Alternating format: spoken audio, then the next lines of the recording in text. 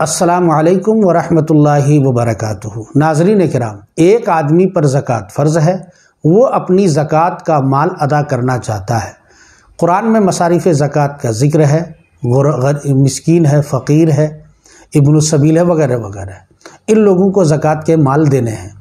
लेकिन सवाल ये है कि क्या वो अपने करीबी रिश्तेदार को ज़क़़त दे सकता है या नहीं?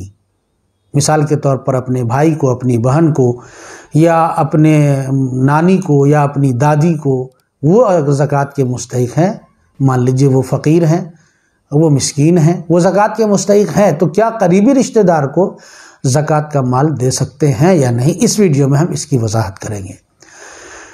आपसे दरख्वास्त है कि वीडियो को देखने के बाद इसे सवाब की नीयत से ज़रूर शेयर करें, लेकिन अभी अभी आप चैनल को सब्सक्राइब कर दें और फिर उसके बाद ऑल के बटन पर प्रेस कर दें ताकि हमारा हर वीडियो सबसे पहले आप तक पहुँचे। नाजरीन कराम ज़क़़त जो देनी है वो मसारिफ में देनी यानी जो ज़क़़त का मुस्तक है, उसे ज़क़़त देनी है। अगर आपका करीबी रिश्तेदार ज़क़़त का मुस्तक है तो सबसे पहले आपकी ज़क़़त के, का हकदार आपका करीबी रिश्तेदार है। क्योंकि इसमें दो फ़ायदे हैं। नंबर एक, फ़ायदा एक ये है कि आपकी ज़क़़त अदा हो जाएगी और दूसरा सिले रहमी हो जाएगा। यानी जो करीबी रिश्तेदार हैं, वो आपके सिले रहमी के मुस्तक हैं। तो इनको ज़क़़त देने से दो फ़ायदे होंगे। आपकी ज़क़़त भी अदा होगी और सिले रहमी का जो सवाब है, वो भी आपको मिलेगा। लेकिन सवाल ये है कि अपने करीबी रिश्तेदार में से किसको दे सकते हैं और किसको नहीं दे सकते? ये बहुत इंपॉर्टेंट बात है। अपने करीबी रिश्तेदार में से आप ज़क़़त किन को नहीं दे सकते हैं, ये समाप्त कर लें, फिर उसके बाद आपको खुद ब खुद मालूम हो जाएगा किन किन को देना है। आप अपनी ज़क़़त का माल अपने बाप, दादा, परदादा, यानी ऊपर तक, जहाँ तक चला जाए, आप नहीं दे सकते।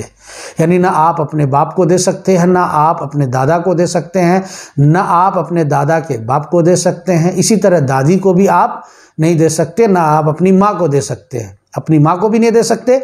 और फिर जो माँ के उसूल हैं, यानी माँ की माँ, नानी, माँ का बाप, नाना, फिर उनके जो उसूल हैं, आप उनको भी ज़क़़त का माल नहीं दे सकते। यानी अपने उसूल को ज़क़़त का माल नहीं दे सकते। जैसे बाप बाप की माँ और बाप का बाप, इन लोगों को नहीं दे सकते। ऊपर आप चले जाइए, इसी तरह माँ माँ की माँ और माँ का बाप, यानी नाना, नानी, इन लोगों को भी आप ज़क़़त का माल नहीं दे सकते हैं। अब आइए, ज़क़़त का माल आप किसको नहीं दे सकते? अपने फ्रू को नहीं दे सकते। मिसाल के तौर पर अगर आप अपने बेटे को ज़क़़त का माल देना चाहते हैं, नहीं दे सकते। अपनी बेटी को नहीं दे सकते, अपने बेटे की औलाद को भी नहीं दे सकते और बेटी की भी औलाद को आप नहीं दे सकते हैं। इसके अलावा भाई आप दे सकते हैं, बहन दे सकते हैं फुप्पी को दे सकते हैं, चाचाजाद भाई को दे सकते हैं, चाचा को दे सकते हैं। यानी जो आपके उसूल में आते हैं और जो आपके फ्रू में आते हैं यानी जो आपके बाप बाप के बाप ऊपर तक हैं या जो आपकी औलाद की औलाद हैं, आप उन्हें नहीं दे सकते। उसके अलावा आप दूसरे लोगों को ज़क़़त का माल, जो करीबी रिश्तेदार है, दे सकते हैं। नाजरन कराम मुझे उम्मीद है कि आपको इस मसले की अच्छी तरह से वजाहत समझ में आ गई होगी। असलकम वरहमल वर्का